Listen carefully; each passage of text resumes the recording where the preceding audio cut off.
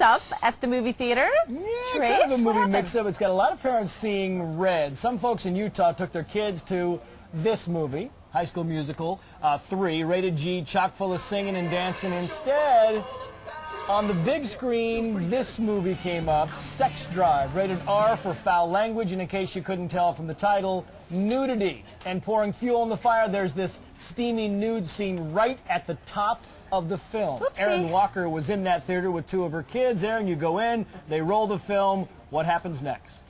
Well, the preview started out a little racier than I would expect, so I already had my kids closing their eyes during the previews. But it didn't take long for Sex Drive to start playing, and within just two minutes, it became very vulgar and sexually explicit, so I grabbed my kids and I ran out. But it was not in time for them to see way more than their young age should have. And how old are they, Erin? I had a four-year-old boy and a ten-year-old girl with me. Yikes. What were they saying? They, they were clearly, y'all knew that at the beginning of the film, boy, this isn't High School Musical 3. Well, unfortunately, the movie starts with a teenage boy who's instant messaging someone in the middle of the night. And so at first you're trying to figure out how this could apply because it was still a teenage boy.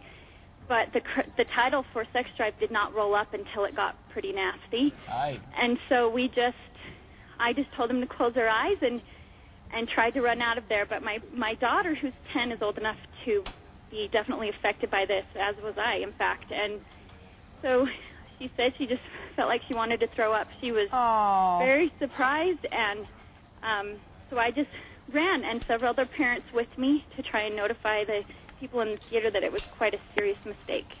Erin, what did the movie theater say? And, you know, d is there any thought that this might have been done intentionally as a joke for all these families that came to see High School Musical 3, or that it was an honest mistake?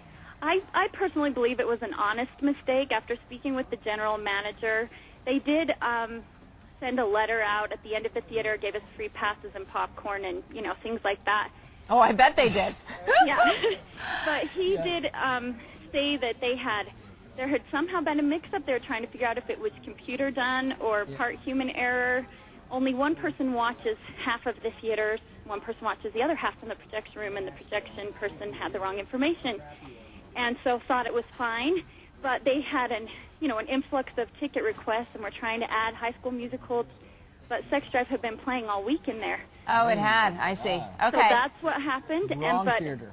but it was disturbing because it, I know there are regulations that protect our children with the rating system, and it was it kind of broke my trust as a parent a little bit to have a movie theater Mess show up. that to my children unintentionally. Erin, we got to go, but did you get a chance to see High School Musical finally We did. They fixed it, and we saw it, and the kids had fun, and the theater management is trying to correct it so that this won't ever happen again.